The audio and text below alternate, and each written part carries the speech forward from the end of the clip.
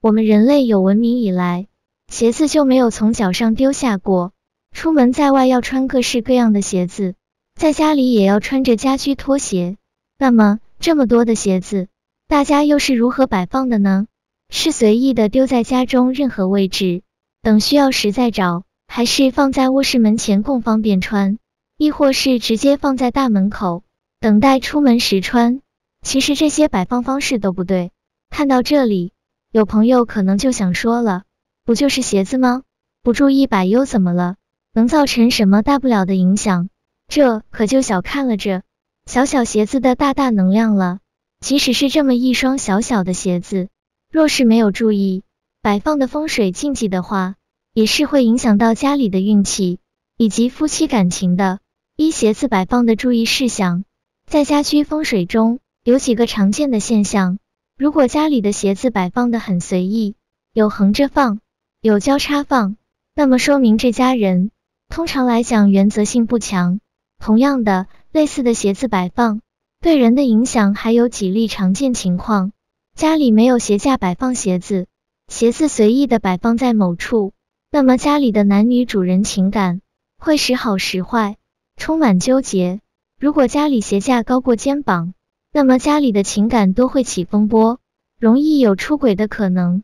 如果打开鞋柜，鞋尖正对自己，那么自己也会容易有健康眼睛方面的疾病。二为什么会有这样的情况呢？这一点从风水上来讲，我们穿的鞋子经过一天的走路后，总会沾染到各种气，这些气通常比较杂乱。若是回到家还将其胡乱放置。那么就会对家里的气造成影响，因而影响家里该方位所主的人的各方面的运势吉凶。通常来讲，鞋子只适用于放在经常出入的大门附近，而且最好是要放置在鞋柜内。只有这样子做，进出门的气流动大，是最大化的控制住鞋子的气不乱散，影响到家中的气的一个方式。而鞋尖不能正对着自己，是因为这样子的摆放。是在风水里面构成了火煞的格局，是会对屋里人的健康起到减分作用的。而且不谈风水，仅从常理角度来说，每次一打开鞋柜，就看见一个尖锐的物体指着自己，也是会使人心绪受到影响，久而久之也是会影响健康的。三鞋子摆放的风水禁忌说了那么多，那么鞋子摆放究竟有哪些风水的禁忌？是我们一定要知道的呢。别急，这里我们就来一一列举。一不要将鞋子放在家门之外。很多人为了节省空间，会把鞋子放在门外面，其实这是非常不利的。首先，第一点就是不易保管，有丢失的风险。其次，屋外的温度变化也会影响鞋子本身。然后，根据老祖宗的告诫，鞋子放在屋外也会容易招惹阴邪之物。可能带来晦气。最后，门口本就是家居风水中非常重视的地方，若是将鞋子这等气息杂乱的事物放在门口，也是会影响整个家的运势的。所以，为了心里不再担忧，为了鞋子的使用寿命，也为了自己的气运着想，还是不要将鞋子放在门外了。二，鞋子宜藏不宜露。通常来讲，为了整个家居风水的气的稳定。建议不要将出门所穿的鞋子放在屋内，而尽量把鞋子放在鞋柜中，将从外面带来的气锁在鞋柜内，可以最大化的减弱外带的气的影响。若是室内穿的拖鞋在床前放的话，一定不能将鞋头对着床，而要相反方向，因为人睡觉时气弱，更是需要注意避免有各种不好的冲击。若是在卧室门外放的话，因为鞋尖是煞气所在，所以绝对不能朝向室内，而要把它朝向门外。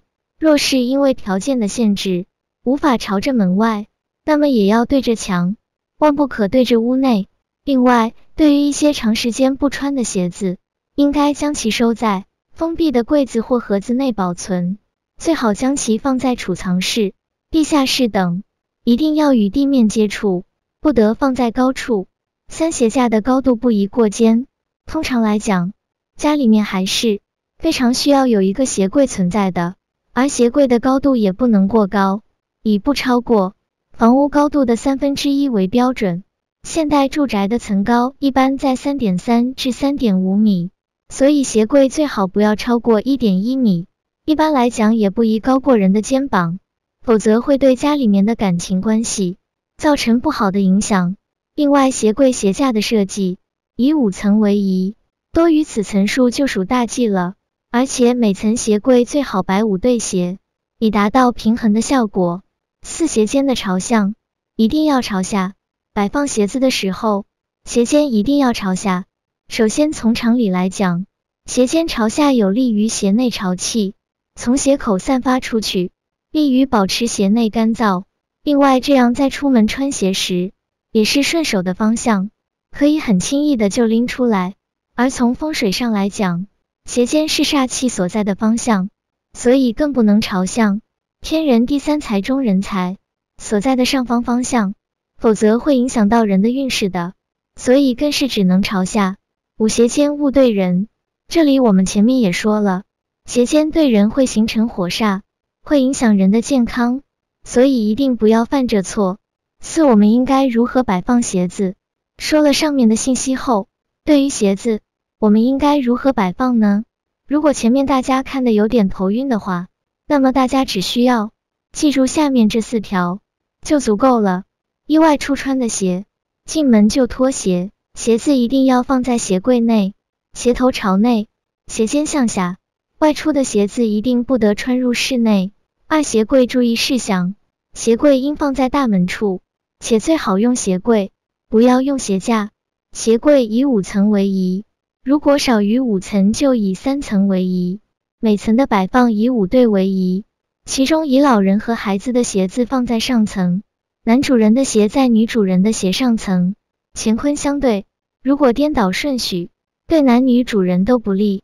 每次打开鞋柜不宜见到鞋尖，鞋架高度不宜过肩，不宜超过房屋高度的三分之一。鞋柜的摆放方位与大门的推动方向有关联。如果大门从左向右开，那么鞋柜适合放在左边；如果大门从右向左开，那么鞋柜适合放在右边。此外，鞋柜不能直接冲着大门，否则这样面对面会气场相撞，不利家庭关系的和谐。三、鞋子一净，如果鞋子在外面弄得很脏，一定要先清理干净后再放入鞋柜内。